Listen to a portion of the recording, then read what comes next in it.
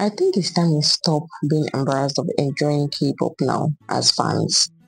You know, the older I get, the less I care about others judging me and my hobbies. Oh, I love watching K-dramas, I love watching the K-pop and people know me for it.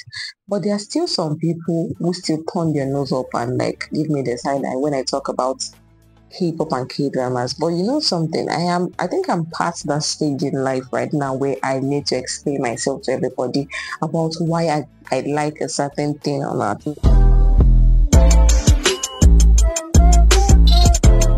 K-pop is one of the hobbies I have that people expect me to grow out of, which which they tell me is not for young people, it's not for younger people, which is very ridiculous to me.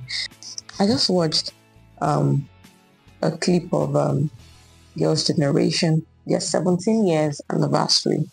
And I was so, so emotional. Even though I, I really did not get into K-pop at a very early stage, but I got into K-pop and I have actually retraced my steps to a lot of golden but olden K-pop songs from the first, the second generations, which I really love.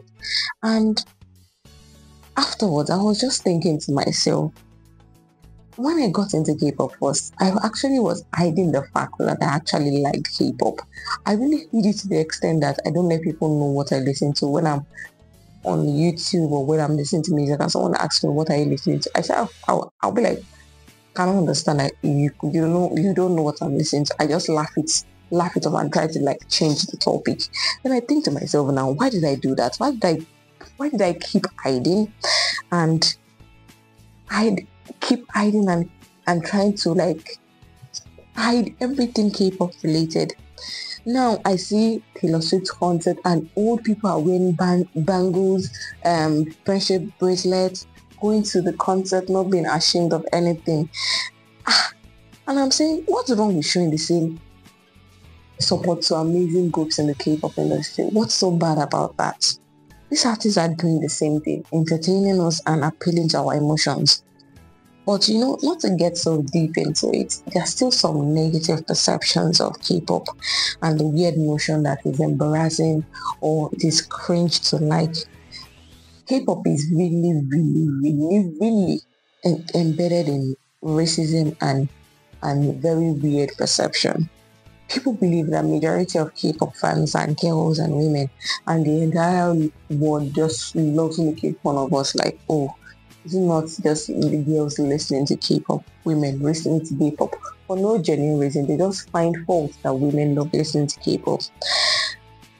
And I think the racism about K-pop comes from the fact that it is not a genre from the West. It is not a white thing. It is not a white. It's not a white entertainment.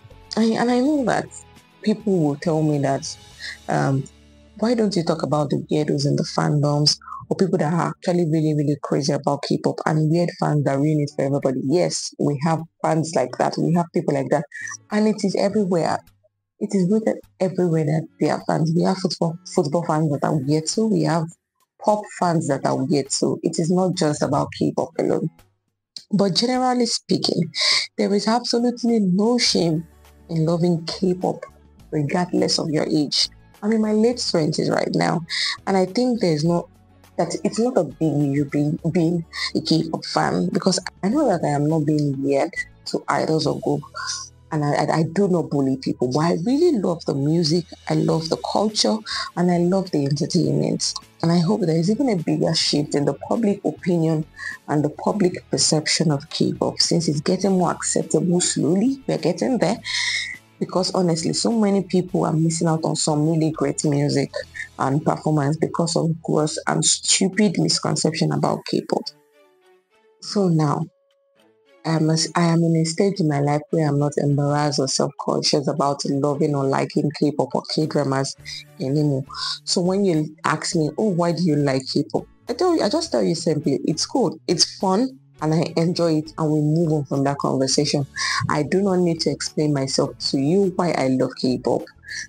If you want to really know why I love K-pop, you are so, so, so invited to come listen to K-pop with me. It is very, it's a very lively place to be. Come listen and come enjoy yourself. See, the world is is too busy and the spotlight is on everybody right now. I think everybody has one problem or the other they are facing right now. So if you want to make my liking K-pop the focus of your life, then so be it. I'm so done being embarrassed and self-conscious about why I like K-pop and K-dramas. On to the next, we move.